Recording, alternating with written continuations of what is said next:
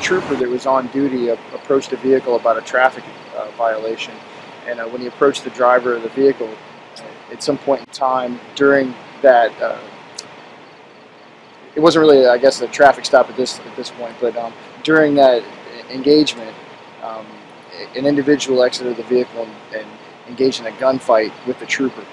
Uh, the trooper returned fire. Uh, the trooper was hit, and the, the trooper did return fire, and the the individual is deceased at this time. How old is the individual? Uh, we don't have that information as of yet.